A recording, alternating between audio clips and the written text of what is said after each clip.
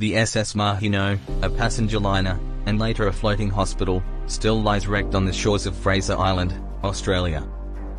The Maheno was built in 1905 in Scotland as a luxury liner for the route between Australia and New Zealand. During World War I, the Maheno was converted into a floating hospital, saving thousands of lives in the Gallipoli campaign. After the war, the Maheno was reconverted into a liner and resumed operations. But by the 1930s, it was deemed obsolete and was sold as scrap metal. The Maheno's final journey began in 1935. While being towed to Japan, a severe cyclone broke the tow line and shipwrecked on Fraser Island. During World War II, the Royal Australian Air Force targeted the wreck for bombing practice.